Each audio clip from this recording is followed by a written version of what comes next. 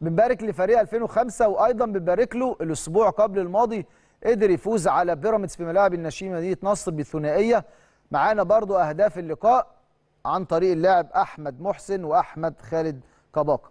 ده الهدف الأول لأحمد محسن جه عن طريق رق... طيب ده أحمد محسن ده الهدف الأول.